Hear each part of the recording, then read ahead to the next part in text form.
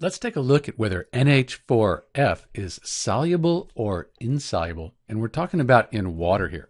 So NH4F, that's ammonium fluoride.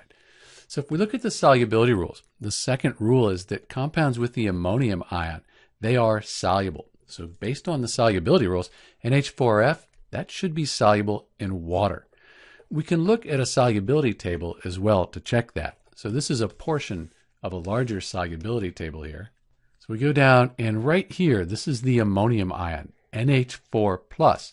Then the fluoride ion, that's the F minus. So we'll go down, over, and that S, that means that we have a soluble compound. So when we put NH4 in water, it'll break apart into the ammonium ion, that's the NH4 plus, and then the F minus, the fluoride ion. So in answer to our question, NH4F ammonium fluoride, that is soluble in water.